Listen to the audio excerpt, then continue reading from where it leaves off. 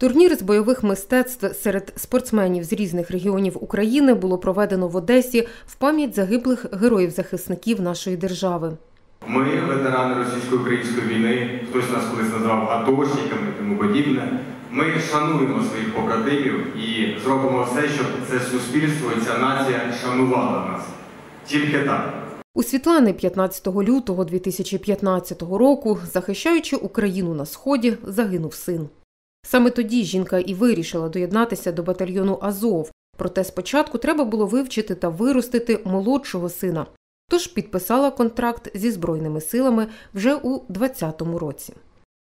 Тому що війна не йде з 22-го року, війна йде з 14-го року. І пам'ять про загиблих, які загинули починаючи з 14-го року, вона не має бути забута. І ми не маємо забути про цих хлопців і дівчат. Вони так само боронили нашу державу. Що вони пішли перші, захищаючи державу до самої загибелі своєї. Під час турніру медалями та відзнаками ветеранських організацій силових відомств було нагороджено рідних загиблих захисників. Шанувати їхню пам'ять спортом, словами і не тільки.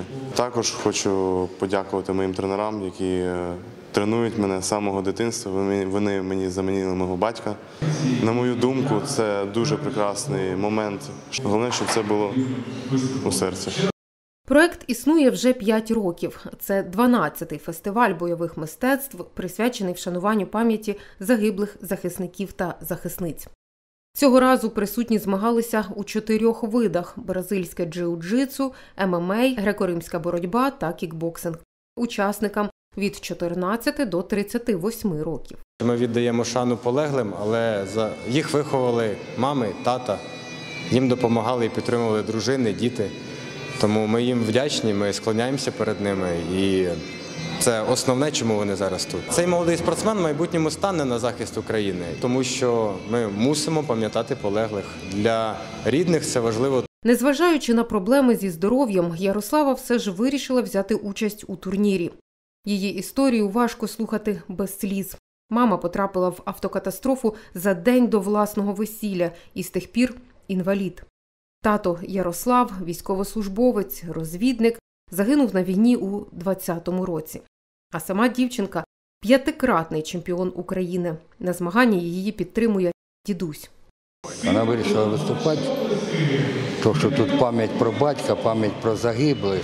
Ви подивіться, а там е, сидять люди, матері, батьки, хто втратив своїх синів і донь. Там сидить мати, в якої загинуло два сини. Це дуже потрібно. Це потрібно молоді, це потрібно нашій країні. Сьогодні не було переможців чи переможених, незалежно від результатів. Сьогодні всі учасники вже герої, бо знаходять в собі сили не просто жити далі, а своїми стараннями нагадувати, якою ціною дається більш-менш спокійне цивільне життя. Власним прикладом показують, як треба підійматися і рухатися вперед, робити все можливе, аби допомогти нашим воїнам вибороти таку очікувану перемогу над окупантом.